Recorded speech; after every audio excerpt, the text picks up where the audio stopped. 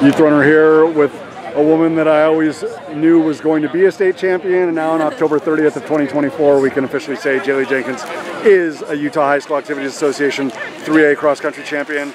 1748-74, River White, best friend, teammate, training partner, 1748-83. As I said to River, it's like I want to be able to slow down the stretch run and put like some dramatic music behind it because it didn't get more Hollywood than that. I know obviously there's been a little time to kind of you know process and you know digest and reflect and you know the awards.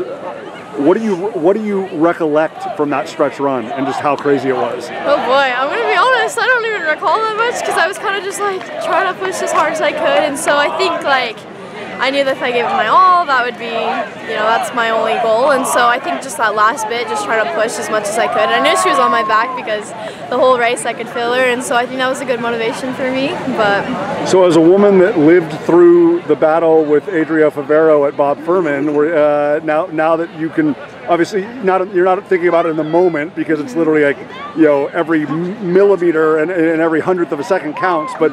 I mean, you have been part of two of the most dramatic finishes in the United States this year, Jaylie Jenkins. Yeah, I do. I'm not gonna lie. I do like racing, like race, race. I like it when it comes down to that little bit because it just keeps me. It keeps me more motivated, and I think like there are times I'm like, oh, I could have pushed better in the race, like in little sections, but.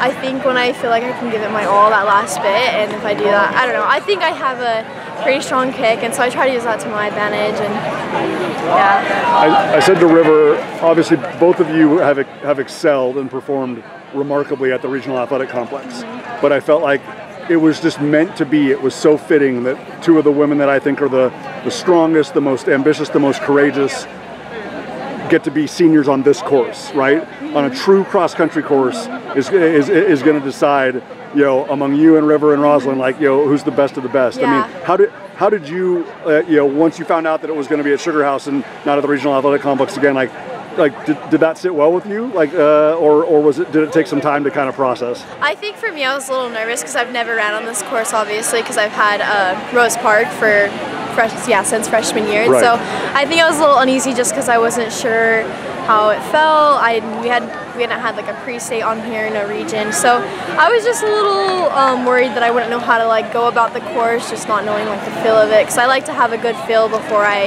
you know, have a big race like this. But um, I also think it was like a good. I, I think this is a really good course. I think, like you said, it's a good course, um, especially when it comes down to big races like this. It's just it really shows like the toughness in each competitors, and so I think it was a good new little change. It kind of, it was definitely not boring. I think Rose Park is great. It's a good flat one, but I think it can get a little boring at times. I think this one has lots of hills to keep you occupied, so. Absolutely. Yeah, it was good. When I was having the blessing of talking with Roslyn and with, with River as well, and we talked about this even back at Timpanogos and mm -hmm. throughout your career.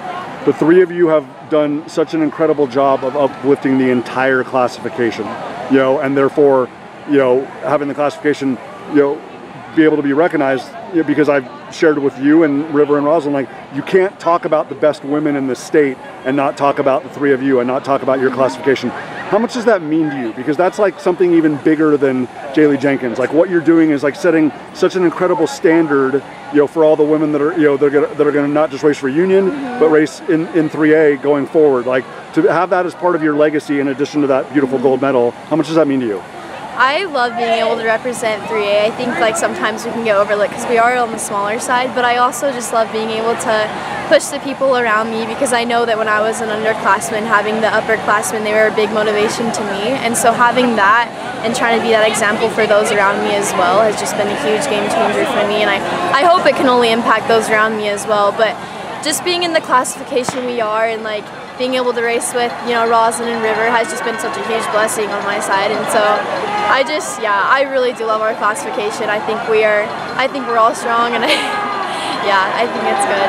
Last thing, Jaylie, your career has been so spectacular, but I mean, th this is the way it should be, you know, for a senior. This is the way it should be for two of the best seniors ever in this classification. You and River like to, to uh, have a moment like that, but I mean, you, I mean, I don't define you by a time or, or by a gold medal because you've, like I said, you've done so much more for Union and so much more for the classification in the state. But like, do, is this also always, you know, what you would visualize you know, at some point in your career, but especially as a senior, like what it would feel like, like what that reality would be like to hang that gold medal around your neck and to be a state champion?